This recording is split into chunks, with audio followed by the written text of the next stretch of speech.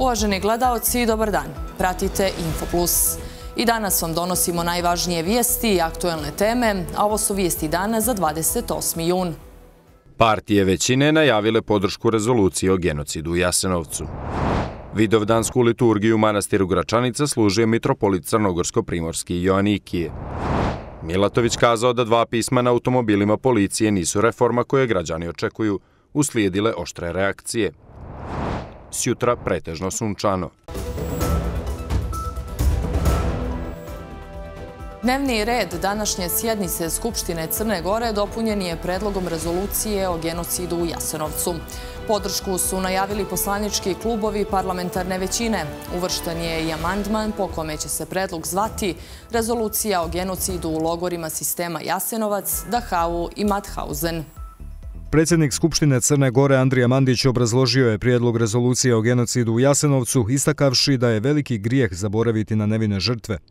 Jer njihov glas je glas civilizacijske potrebe i kulture sjećanja svakog slobodnog i odgovornog društva.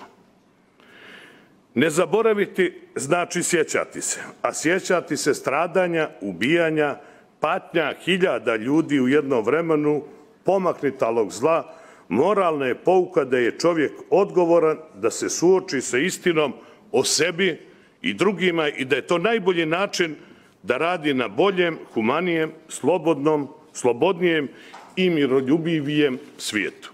Navodi da ovaj predlog nije usmjeren protiv bilo koga, osim protiv zla i nepočinstava.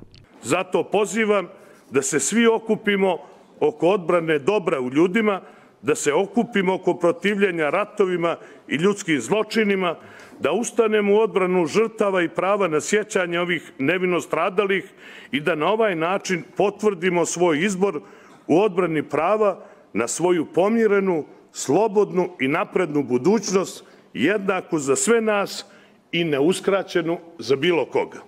Poslanički klub Pokreta Evropa sad najavio je podršku predlogu rezolucije. Poslanica Branka Marković kaže da rezolucija nije uperena protiv današnje Hrvatske, kao i da ni jedan narod ne može biti genocidan. Suočavanje sa prošlošću i osuda svih zločina, bez izuzetka, je put ka zajedničkoj budućnosti i suživotu u evropskoj porodici. Također, osuđujemo svaki pokušaj da se na bilo koji način neosporni zločini pojedinaca pripišu kolektivno bilo kom narodu. Predsjednik Demokratske narodne partije Milan Knežević kaže da se i danas u okolini Jasenovca nalaze ostaci nevinostradalih tokom drugog svjetskog rata. Onda nas pitaju otkud nam pravo da pominjemo srpske žrtve u najvećem srpskom gradu pod zemljom. Imaju li genocidirane srpske, jevrejske i romske duše pravo na pravdu ili postoje izuzeci ako se radi o Srbima ili je samo dovoljan onaj kameni cvijet da se pokaže simbolička poruka kako se obilježilo stradanje preko 750.000 Srba, Jevreja i Roma. Poslanici opozicije su istakli da je genocid u Jasenovcu nesporna činjenica, ali da neće podržati predlog rezolucije jer, kako kažu, ne donosi ništa novo, kao i da predstavlja svojevrsnu političku trgovinu. Rezolucija također ne pominje da su nakon drugog svjetskog rata za zločine u Jasenovcu kažnjeni pripadnici ustaškog režima a u Jesenovcu je bilo više etničkih grupa, između ostalog stradali su i građani Crne Gore, koje nisam vidio da ste naveli u rezoluciji, ali bilo je porodica koje su porijeklom iz Crne Gore i koje su, koje su stradali. Oni se nisu našli u tekstu samo da znaju građani Crne Gore. Ali šta je problem sa Jasenovcem? Nije problem u osudi genocida poštovani građani Crne Gore i volio bih da ovaj segment čujete. Problem je što je Jasenovac klasična politička trgovina i pokušaj opravdavanja parlamentarne većine za glasanje u UN-u vezano za rezoluciju o Srebrenici. Predlog rezolucije podržali su i poslanički klubovi Demokratske Crne Gore i Socijalističke narodne partije. Nekoliko stotina vjernika prisustvovalo je vidovdanskoj liturgiji u manastiru Gračanica koju je služio mitropolit Crnogorsko-Primorski Joannikije uz sasluženje mitropolita i episkopa Srpske pravoslavne crkve. Ekipa Adrije televizije bila je na licu mjesta. Detalji u narednim minutima. Kosovo za srpski narod nikada neće biti izgubljeno, kazao je mitropolit Crnogorsko-Primorski Joannikije. Ja još nijesam čuo nijednoga hrišćanina kao što to neki drugi govore, da je izgubljeno Kosovo i Metohija. To nijedan hrišćanin, nijedan pravi Srbi neće nikada reći. Ali pojedini govore.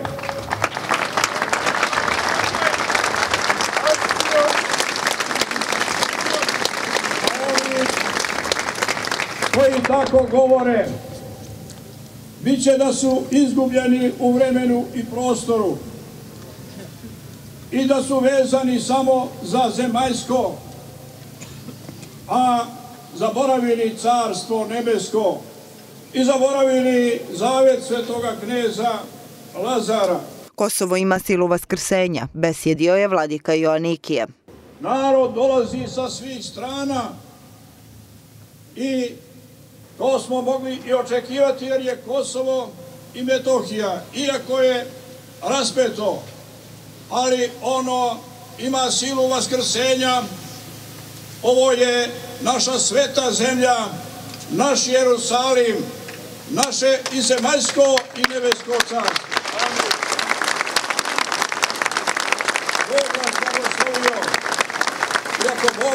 da se i u buduće ovako okupljamo i u još većem broju. Osim na Kosovu i Metohiji, Vidovdan je obilježen i u Kruševcu gdje je održana centralna državna manifestacija, a održana je i svečana sjednica vlade Srbije. Premijer Srbije Miloš Vučević je u obraćanju posle polaganja vijenaca kod spomenika kosovskim junacima u Kruševcu poručio da je Vidovdan ugaoni kamen srpske kulture i nacionalnog identiteta. Predsjednik Srbije Aleksandar Vučić čestitao je Vidovdan. Srećan vam praznik, srećan vam Vidovdan. Budućnost je u vašim rukama i siguran sam da još mnogo, mnogo toga dobrog možemo i moramo da uradimo za našu Srbiju. Na Gazimestanu, istorijskom spomeniku na oko deseta kilometara od Prištine, okupio se veliki broj Srba sa Kosova iz Srbije i zemalja regiona kako bi obilježili Vidovdan. Skup na Gazimestanu ubezbeđivale su policijske snage uz rigoroznu kontrolu i pretres. Info Plus nastavljamo vijestima sa političke scene. Predsjednik Crne Gore Jakov Miletović kazao je da dva pisma na automobilima policije nijesu reforma koju građani očekuju, kao i to da su, kako tvrdi, najbolji prijatelji premijera Milojka Spajića i ministra vanjskih poslova Filipa Ivanovića, koji nemaju nikakvu povezanost s diplomatijom, bili predloženi za ambasadore Crne Gore u nekim državama. Uslijedio niz oštrih reakcija. Da nije bilo pogrešne vanjske politike nekadašnjeg demokratskog fronta, Jakov Miletović nikad ne bi postao predsjednik Crne Gore, žena mu se ne bi zaposlila u Cedisu, kum postao predsjednik opštine Danilovgrad, a tetka odbornica u Skupštini glavnog grada, saopšteno iz Demokratske narodne partije. Iz Demokratske Crne Gore saopštavaju da žale što Milatović do sada nije vidio da su, kako kažu, zahvaljujući odličnoj saradnji bezbjednostnog sektora, tužilaštva i međunarodnih partnera, postignuti izvanredni rezultati na polju borbe protiv organizovanog kriminala i korupcije, između ostalog i procesuiranje mnogih do skoro nedodirljivih. Pokret Evropa sad pozvao je predsjednika države da uputi izvinjenje dvojici kandidata kandidata za ambasadore u Njemačkoj i Španiji zbog, kako kažu, neprimjerenog napada na njihov integritet. Široki pokret koji će činiti ljudi koji su bili u politici i oni koji se do sada nijesu politički angažovali nastupit će samostalno na lokalnim izborima u Podgorici ako budu raspisani. To je vijestima kazao bivši ministar pravde i jedan od inicijatora osnivanja tog pokreta, Marko Kovač, navodeći da ljude u tom političkom subjektu vezuju isti pogledi na budućnost Crne Gore i na njene ključne pravce razvoja. Građani Crne Gore ovih dana, nedjelja, mjeseci najbolje i vide i znaju da stvari u Crnoj Gori ne idu u dobrom smjeru. Ona je entuzijazma entuzijazam koji smo imali taj prelomne 2020. godine kada su započele neophodne političke promjene izgleda da je danas potpuno zamro, rekao je Kovač. Glavni odbor socijaldemokratske partije donio je odluku da podrži formiranje Saveza koji bi uz tu partiju činile socijaldemokrate, liberalna partija, nestranačko udruženje i nezavisni intelektualci, kao i veći broj istaknutih građanskih aktivista. Upravo ta podrška koju svakodnevno dobijamo nas je opredijelila da napravimo Savez u čim će središtu biti borba za modernu, evropsku i naprednu Crnu Goru, ujedinjenje oko univerzalnih vrijednosti zajedništva, napominju u SDP-u. Elektroprivreda Crne Gore i opština Nikšić organizovali su izložbu najboljih konkursnih radova za idejno rješenje stambeno-poslovnog kompleksa Sunčani grad, koji će se graditi na lokaciji u blizini Željezare. Prezentaciji dodijeli nagrada autorskim timovima prisusovali su i predsjednici opštine i skupštine opštine Nikšić, Marko Kovačević i Nemanja Vuković sa saradnicima. Kovačević je kazao da je projekat Sunčani grad jedna nova budućnost u koju je Nikšić već zakoračio. Kako je istekao, tražio se način da se prostor u blizini željezare napokon uredi, način da se omogući investitorima da investiraju i posluju u Nikšiću, ali i da se riješi situacija onih koji žive na pomenutoj lokaciji.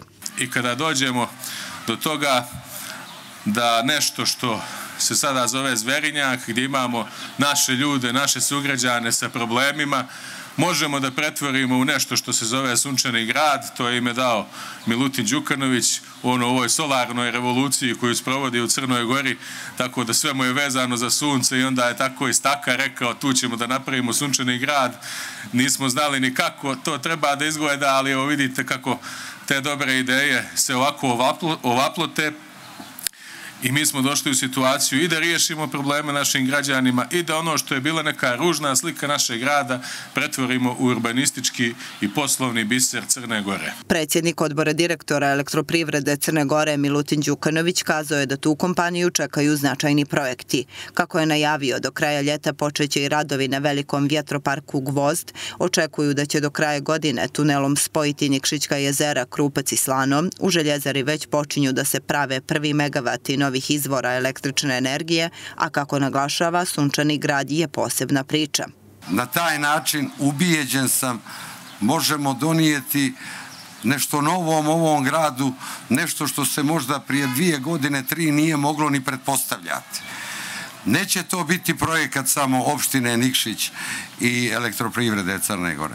Pozvaćemo sve institucije, sva ministarstva da su te, u taj projekat Đukanović u ime kompanije uručio nagrade za prva tri autorska tima. Autorski tim koji čine Srđan Tadić, Aleksandar Marsenić i Bojan Vlahović osvojio je prvu nagradu u vrijednosti od 50.000 eura za idejno arhitektonsko rješenje stambeno-poslovnog kompleksa Sunčani grad u Nikšiću. Ja se nadam da je ovo neka budućnost Nikšića i da Nikšić ima nekog potencijala da bude neka vrsta motora, ne zato što smo Nikšićani, nego zato što Crna Gora ima nekog prirodnog potencijala i nešto ta željezara kao da sluti neko novo rešenje. Kako je naznačeno u obrazloženju žirija, prvonagrađeni rad na izuzetno originalan i studiozan način nudi koncept zasnovan na postepenom gradograditeljstvu kroz rastakanje grada u prirodu ili srastanje prirode u urbanitet koji kao princip sprovodi dosljedno kroz sve aspekte rješenja.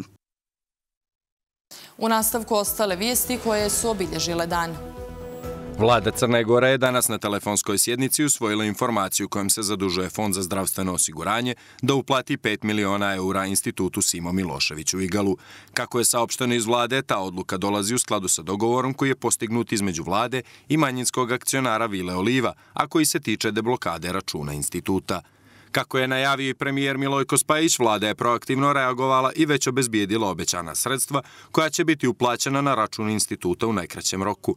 Nakon formalizacije dogovora sa Vila Olivom, potrebno je da shodno dogovoru manjinski akcionar uplati iznos od 5 miliona eura po osnovu beskamatne pozajmice, čime će se račun instituta igalo deblokirati, navode iz vlade. Specijalno državno tužilaštvo naložilo je istragu protiv bivšeg glavnog specijalnog tužioca Milivoja Katnića zbog sumnje da je počinio ratni zločin protiv civilnog stanovništva tokom opsade Dubrovnika. Tužilaštvo sumnja da je Katnić tada oficir JNA tokom oružanog sukoba oko Cavtata nečovječno postupao sa lokalnim civilima, što je on negirao. Ovo nije prvi put da se Katnić spominje u kontekstu ratnih zločina tokom opsade Dubrovnika.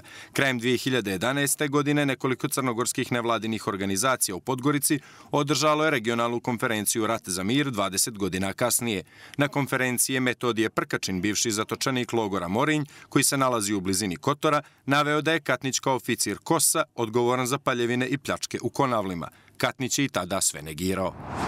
Komemorativna sjednica povodno smrti Dragana Đurovića, nekadašnjeg poslanika i ministra, bit će održana s jutra 29. juna. Kako je saopšteno iz parlamenta, komemorativna sjednica će se održati u plenarnoj sali Skupštine sa početkom u 9.30 časova. Posjećamo nekadašnji potpredsjednik vlade i poslanik Demokratske partije socijalista, Dragan Đurović, iznenade je preminuo u 65. godini. Koji prethodnih dana bio uzrok masovnog umiranja pasa u Podgoričkom azilu.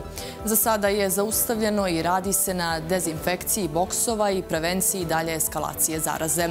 Naša koleginica Jovana Novović razgovarala je na ovu temu sa veterinarkom Mašom Jovanović i građanskim aktivistom Milošem Asanovićem. Vijesti o visokom mortalitetu štenadi i mladih pasa uslijed masovnog obolijevanja od parvovirusa u skloništu za napuštene kućne ljubimce u Podgorici ovih dana uzrmale su javnost. Slike nesrećnih životinja koje na visokim temperaturama umiru u mukama nikoga nisu ostavile ravnodušnim. Pitali smo našu sagovornicu koje su osnovne karakteristike ovog virusa. Ono što vlasnici prvo primijete to je da je njihova životinja, to jest pas, e, onemoćao, da je letargičan, e, gubitak apetita i jedno, jedna generalna opšta slabost. E, nakon tog početnog stadijuma može doći do dijereje, do povraćanja. Dijereja često bude tako obilna, profuzna i sa primisama krvi. To je obično znak kada vlasnici shvate da nešto debelo nije u redu sa njihovom životinjom i kada odluče da se obrate nama veterinarima.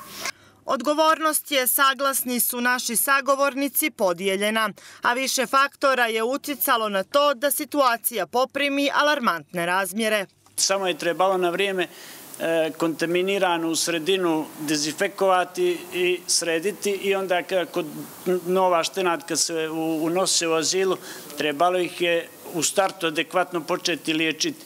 To je moglo da se riješi, ali adekvatno da je počelo na vrijeme da se rešava. Ali oni nisu, oni su to bili, to je zapušteno nekoliko dana, je to sve tako ostojalo. Niko i kad se malo pokrenulo, da rečem neka tema na drstvenim mrežama ili na pisanim portalima, eh, onda su oni krenuli. Azil koji je pod upravom gradskog preduzeća čistoća teško da ima kapaciteta da prihvati sve napuštene i ostavljene pse.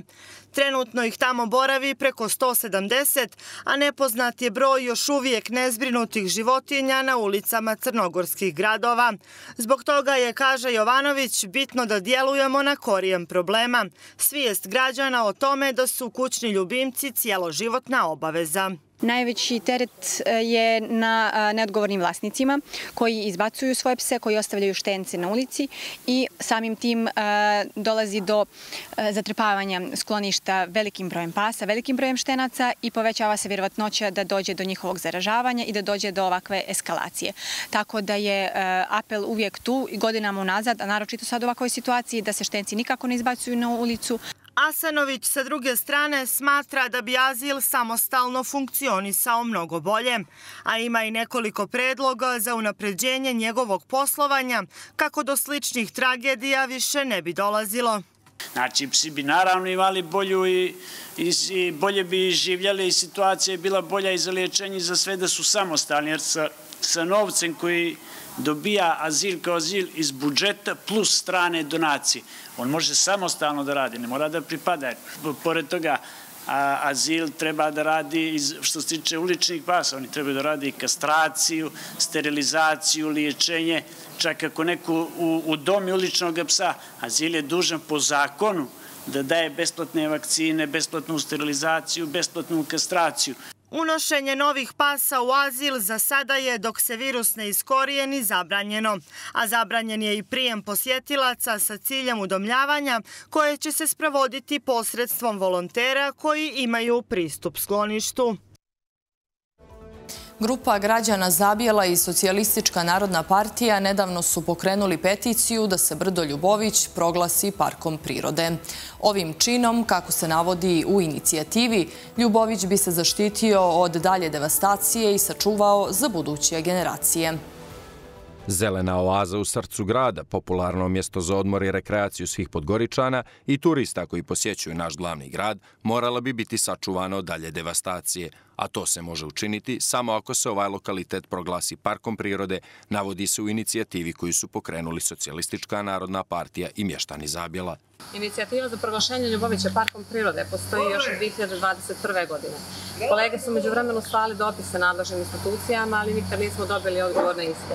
Međutim, peticija je primila izuzetno pozitivan odijek kod naših sugrađana, naravno najviše od mještana Zabjela koji su prepoznali značaj očuvanja prirode i aktivno učestvuju u prikupljanju potpisa. Koliko je Ljubović značajan simbol Podgorice, najbolje govori da je opjevan u brojnim pjesmama, a panoramski pogled koji se pruža sa vrha čini ga atraktivnim mjestom za posjetu, naročito u ljetnjim danima, s obzirom da je prekriven gustom šumom.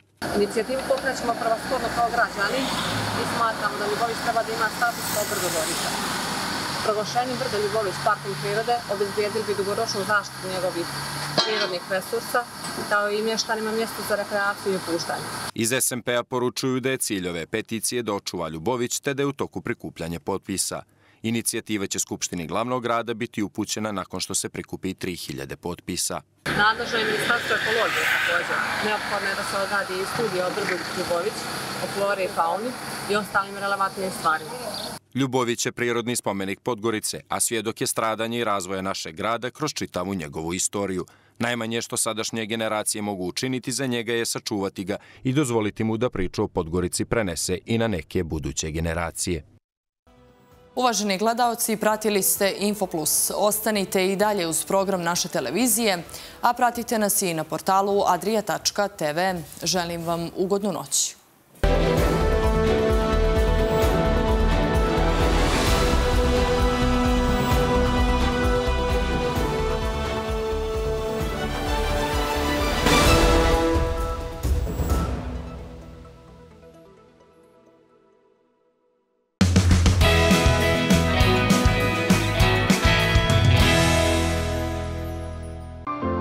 Dragi gledaoci, u vikendu pred nama očekuje nas dosta sunca.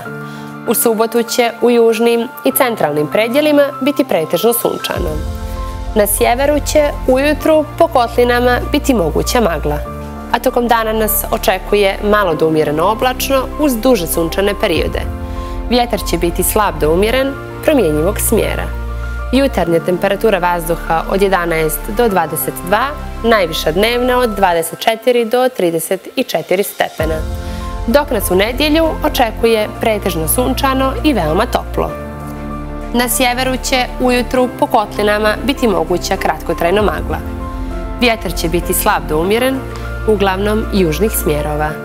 Jutarnja temperatura vazduha od 12 do 24, najviša dnevna od 27 do 36 stepeni.